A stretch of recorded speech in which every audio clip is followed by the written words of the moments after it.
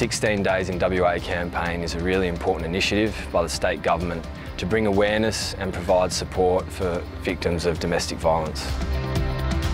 It's a huge issue in our society and the stats of West Australians and domestic violence are horrific. As men in our society, we have a role to bring up the conversation and to talk about healthy, respectful relationships between men and women.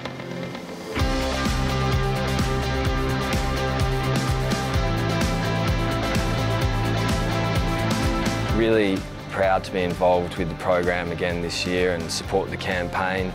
The boys are wearing orange socks and admittedly we're not fixing the problem but we're aiming to start a conversation with you and those you care for around domestic violence and know that it's not on, it needs to stop.